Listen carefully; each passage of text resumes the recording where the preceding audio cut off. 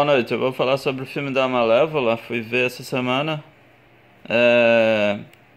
Eu lembro, eu vi o primeiro filme, mas é... confesso que eu teria que assistir novamente para pegar de repente alguns outros detalhes. O que eu percebi desse filme é que. Uh... Cara, a Michelle Pfeiffer é uma grande atriz, eu gostei da atuação dela. Gostei da atuação dela, da Michelle Pfeiffer. É, Angelina Jolie, que teria que fazer o papel de uma pessoa, de uma, da Malévola, que teria que ser realmente uma vilã. É, ah, hoje em dia o que, que acontece? Eles fazem um vilão que de verdade acaba não atuando como um vilão. A grande verdade é essa. Que aí ela fica como se fosse uma um anti-herói. É, hoje em dia a gente está vivendo o mimimi do vilão. O cara que é pra ser o vilão de verdade não é. e o vilão é outra pessoa, é a própria mãe do príncipe. Porque a filha da Malévola vai casar com esse príncipe. É, só que eu percebi furos, eu percebi furos nesse filme. Um deles foi o furo do. Primeiro eles dizem no filme que a Malévola seria a única que teria poderes. Poderes. É especiais, vamos chamar assim.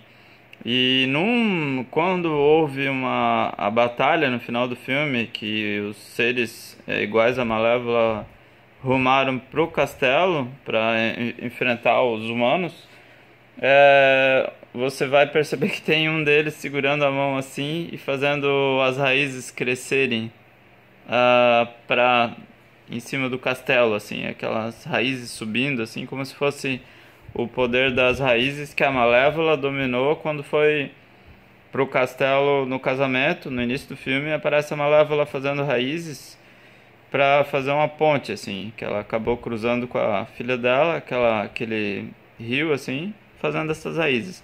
E nessa luta, esse cara do nada levanta a mão assim e faz umas raízes assim, como se ele tivesse o maior poder do mundo. Aí eu já vi um baita furo. É... Outro furo que eu vi também foi a questão do cara que ajudou a Malévola, que o igual a ela, um cara. Eles não tinham poderes, esses caras do povo, vamos chamar, igual ela. Mas essa, a Malévola, antes de acontecer a cena, é revelado que ela tem o poder da vida e da morte, que ela é mais poderosa. E ele tomou um tiro para proteger ela. Eu pensei assim, cara, ele tá morrendo, e ele tava morrendo na frente dela. Ela não podia fazer um milagre da vida e ressuscitar o cara? Eu achei ridículo, o cara pega e morre na frente dela, vira um monte de, de florzinha, um monte de coisa assim, nada a ver. Enquanto eles tinham salvo a vida dela pouco antes. Aí já achei uma coisa nada a ver. Aí tá, daí depois vai, vai, vai, o filme anda, vai. É, no final, a Malévola acaba lutando, ela chega a morrer e ressuscitar como a Fênix. Então ela é praticamente imortal. Então ela, ali ela mostrou que ela tinha o poder mesmo da ressurreição, da vida e da morte.